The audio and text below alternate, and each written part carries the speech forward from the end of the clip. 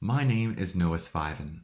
I am a Soar High School graduate and a former member of the Antelope Valley Union High School District Board of Trustees. I am proud to support Dana LaMon's campaign to represent Area 3 on that school board. During high school, I participated in numerous essay and speech contests. Through it all, Dana was my mentor and coach. With his help, with his guidance, I earned over $20,000 in scholarship money, and now I attend Stanford University.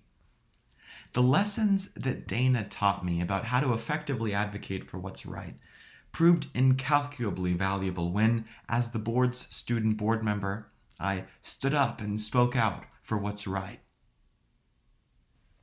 Amidst all of the turbulences of the current composition of the board, Dana will enter if elected, and with compassion, competence, excellence, and love, capably contribute his skills and experience to the improvement of our district. And as Yale's first line graduate, Dana knows better than most the value and the importance of education. If I were on the board, I would want Dana as my colleague a person committed to students, well versed with the law, and ready to work for the improvement of the high school district upon which our entire community depends. So,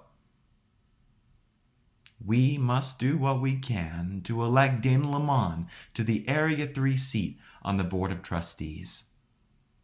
If we're able, we need to support the campaign with a donation or with our time. We need to vote early and we need to tell our friends about why he is the best choice in this election. Thanks for listening. Stay safe.